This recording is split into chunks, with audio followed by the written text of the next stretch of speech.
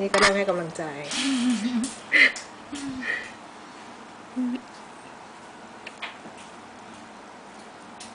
พอไหมคะเนี่ย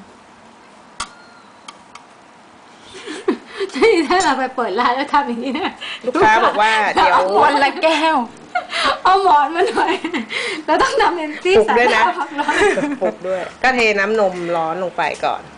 ได้แค่วันละแก้วจับตรงนี้ด้วยค่ะ เพื่อที่จะไม่ให้มันหกนะคะ เทไปที่ตรงกลางนะคะ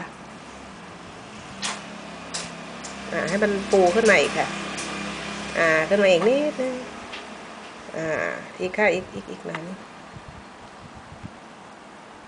โอเค แล้วก็ตักโฟมนมที่มันเนียนๆโฟมเป็นเม็ดหยาบมากเลย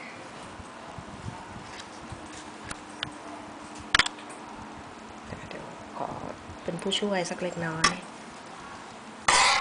คุณพิมบอกทนไม่ไหวนะไม่ใช่ค่ะ ลูกจิตอ่ามันจะช้านิดนึงแต่ว่าไม่เป็นไร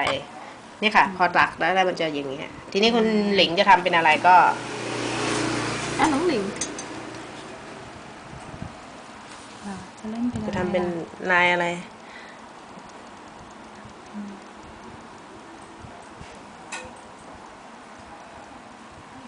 ใช่ไหม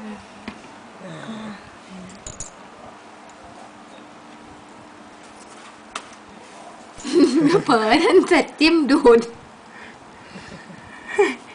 ตายเบี้ยวเชียวอ่าทำเป็นหัวใจไหมคะ ค่ะ ได้ค่ะทำเป็นหัวใจมันต้องหยอดอีกใช่ไหมคะ ต้องหยอดเป็นวงกลมวงกลมสามชั้น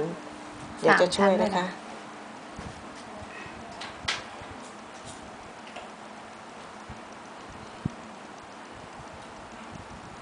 แล้ว ก็ต้องหมุนหมุนๆมันเป็นสามกใช่ลมๆใช่ใช่ไหมใช่คะใช่ให้เป็นวงลีลีก็ได้ ไม่ลีก็ได้ แล้วแต่ว่าหัวใจเรายาวหัวใจเราสั้นแต่ดูเหมือนเป็นก้อนนี่เลยค่ะ สนุกสนุกเล่นๆ ซ้อมมือดู